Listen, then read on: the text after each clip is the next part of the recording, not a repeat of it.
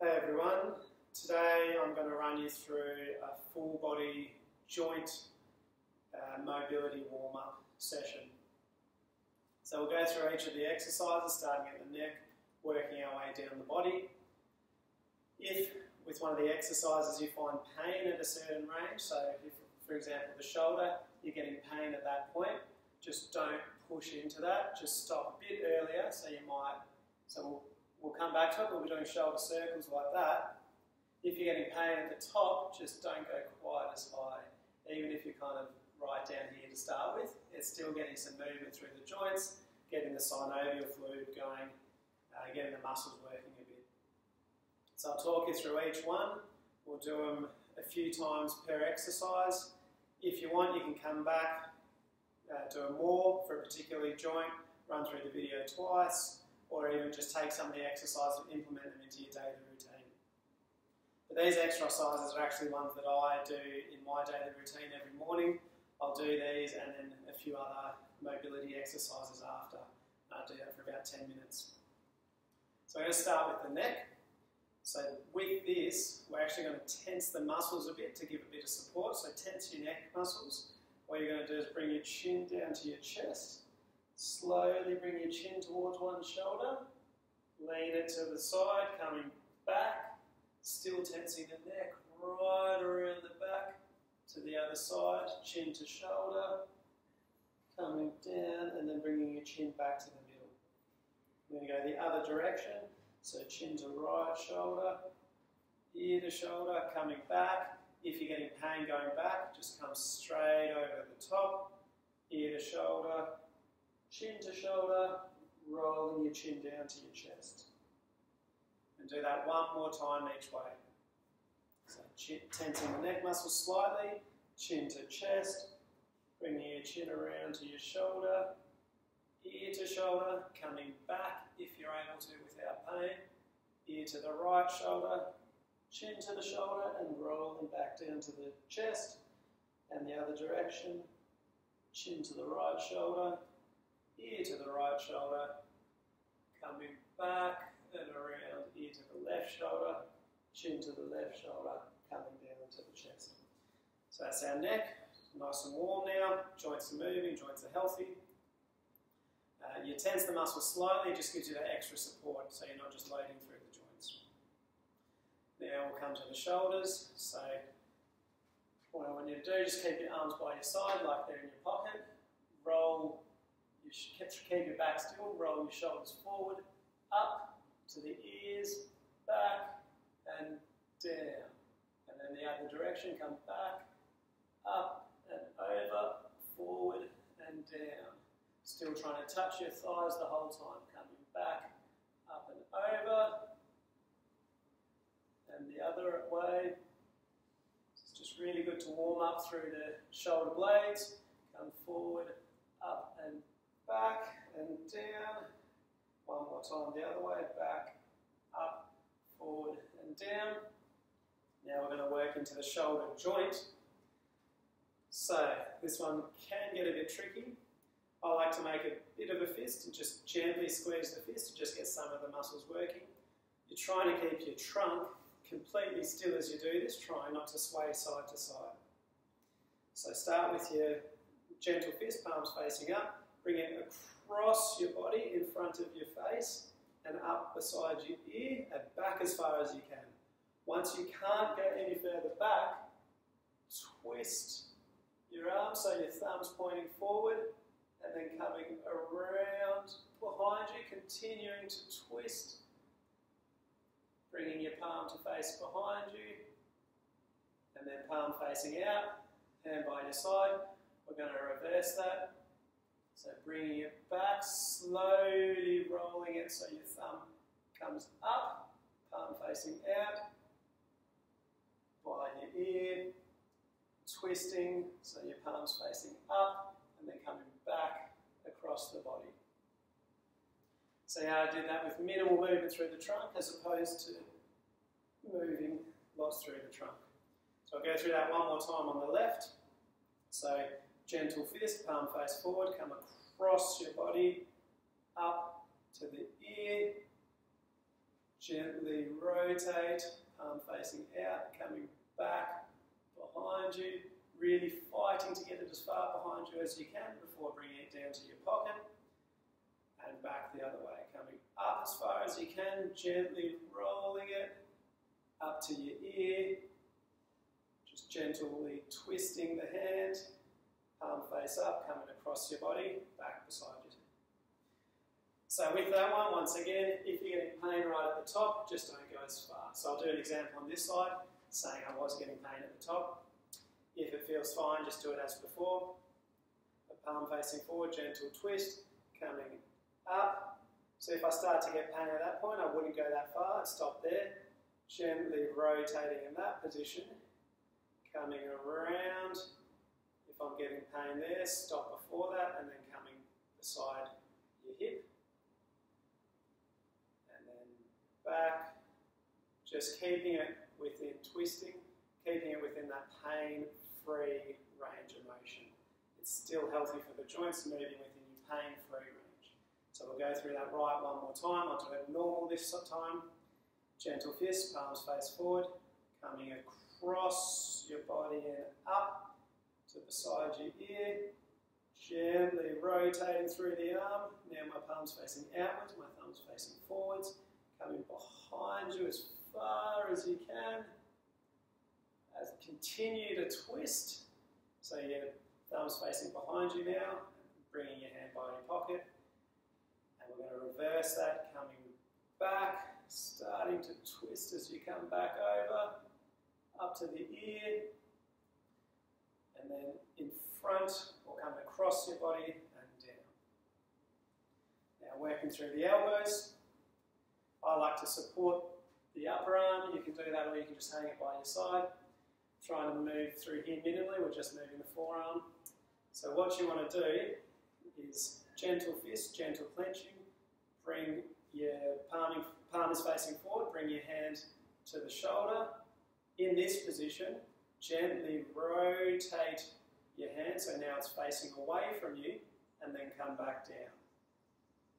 Now stay there palm facing down, bringing it up, rolling it the opposite direction, palm facing towards you, and down. See, I've got minimal movement through the elbows, not swaying side to side. That's why I like to just support it. Bending, rolling, and down, bringing it up, rotating, and down. And same on the other side. Palm facing up, gentle fist, gently squeezing, bending through the elbow, now twisting, now my palm's facing away from me, coming down, come back up, still palm facing away, rotating palm facing towards, and down. Do that once more by yourself. As you do this, you're only rotating your wrist as much as you can. So don't try to move the elbow to get extra movement, even if it's just a small amount. So even if you're going to there, that's okay. Just work within your limitations. Give a few more seconds to finish. Alright, now we're going to work on the wrist. So this part of the arm doesn't move. So I want you to hold it with your other arm. It's only the hand that's moving.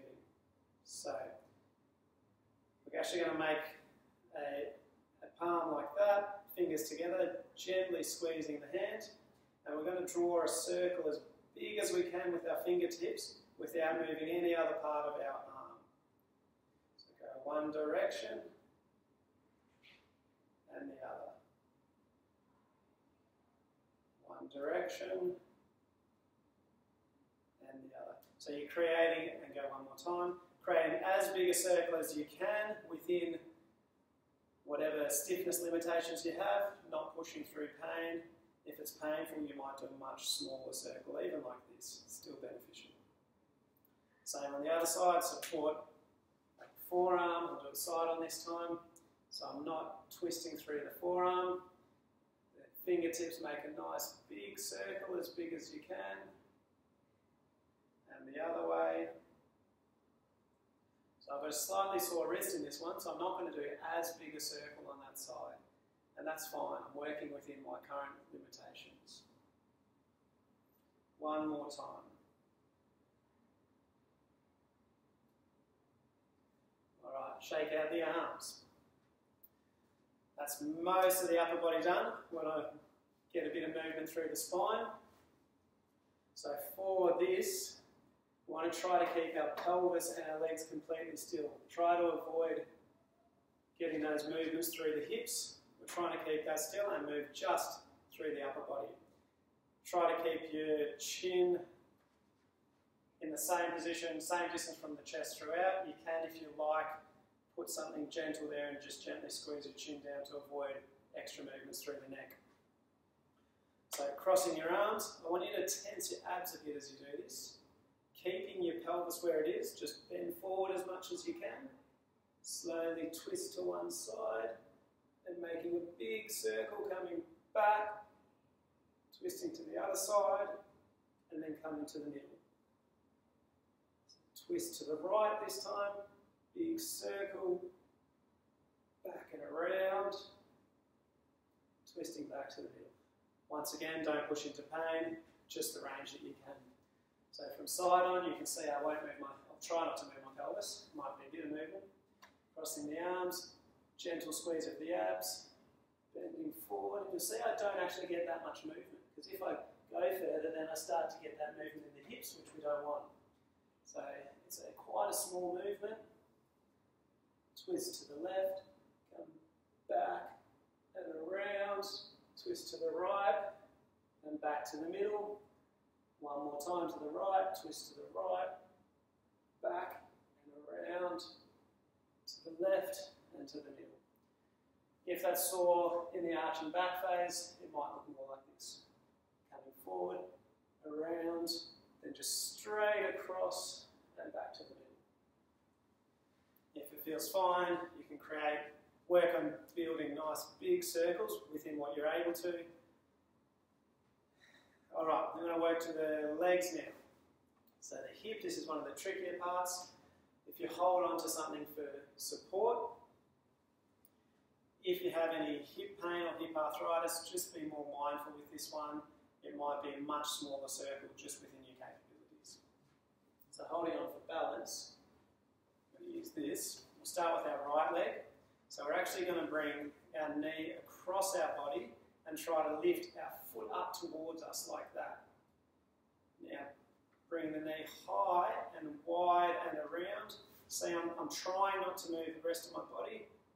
And then you're starting to bring the foot up towards the roof behind you. Back behind you, pushing back, and then bring your knee to join the other knee. Now we'll reverse that. I've still got my knee bent.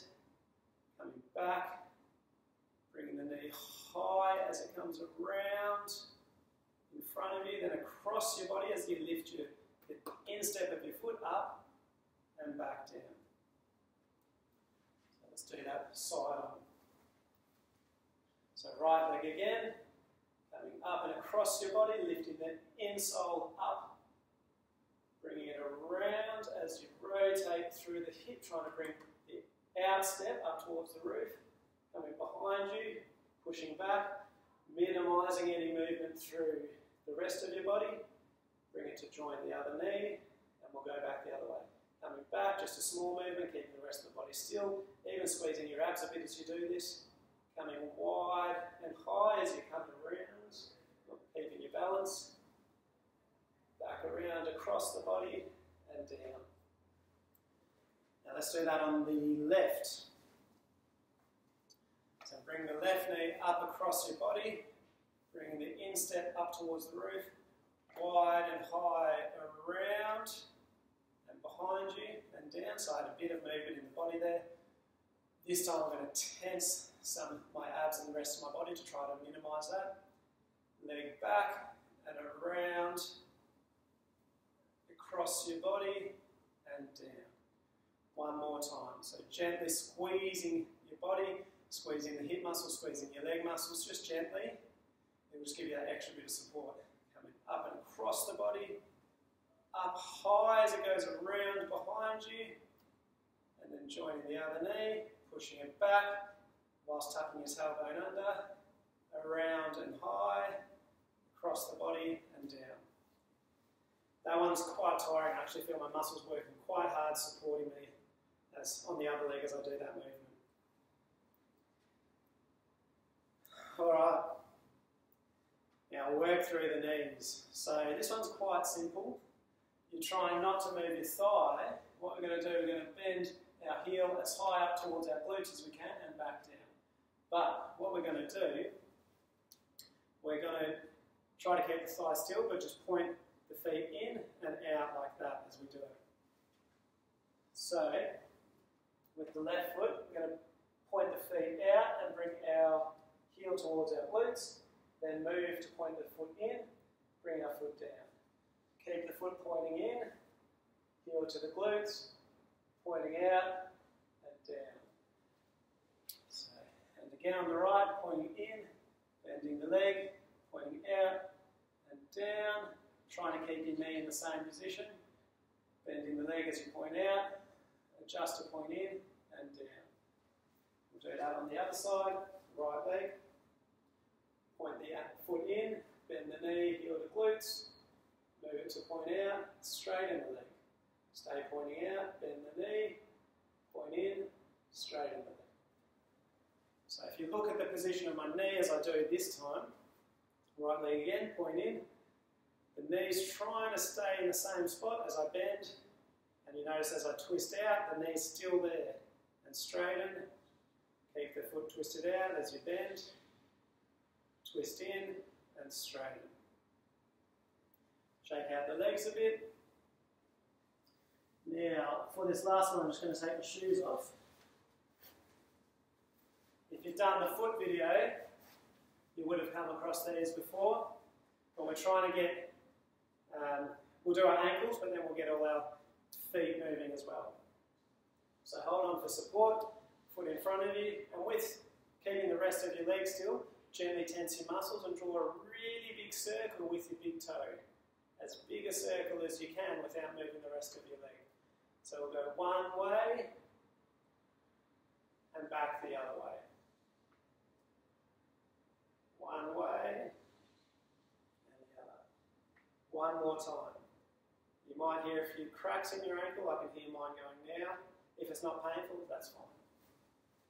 And the other foot, nice big circle as I keep the rest of my leg still. Really good for ankle health.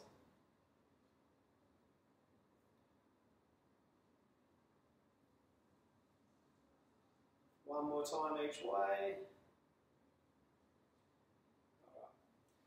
And now we're going to be looking at the feet. So I'm going to come a bit closer for this one. So this is similar to the other day. We'll start with our left foot.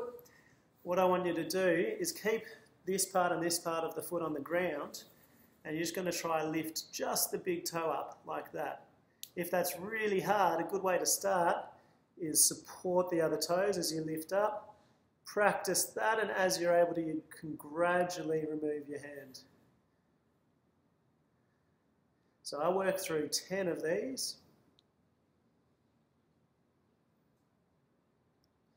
And then we'll do the same, keeping the big toe down, moving the other toes up. So gently hold your big toe down, lifting the other toes, trying to keep this part of your foot on the ground as you do it. The goal is eventually to be able to do it without your hands. This is really good for the health of the feet and all the little muscles working in your feet, which we often neglect. I've Got four more, up and down. Now, hold your toes up and try to gently tap the big toe down, keeping this part of the foot on the ground. You can hold your toes again and as you're able to, gradually move your hand away. Four more. Well, does take a bit of coordination. The more you practice this, the better. And then tap all the other toes, keeping the big toe up. Four, five, six, seven, eight, nine, ten. We're going to do the same on the right foot. So we'll come from the side to show you a bit more. So heels stays touching the ground, the forefoot stays touching the ground as I just lift the big toe up. Holding the other toes if you need to start. Six, seven, eight, nine, ten. Now keeping the big toe down, lifting the other toes. Two, three, four, five, six, seven, eight, nine, ten. All the toes up, gently tapping just the big toe down. Four, five, six, seven, eight, nine, ten. Now keep the big toe up as you touch all the little toes down. Three, four, five, six, seven, eight, nine, ten. Good work, and we're done. So, hopefully, your body should feel nice and warm now, nice and loose.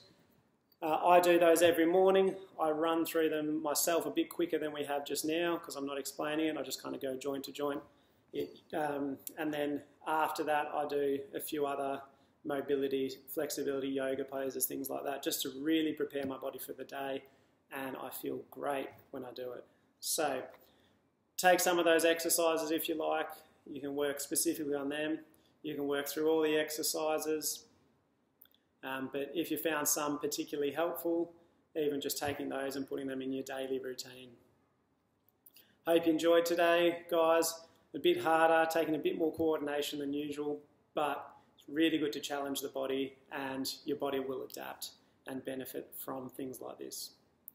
All right, I'll see you later.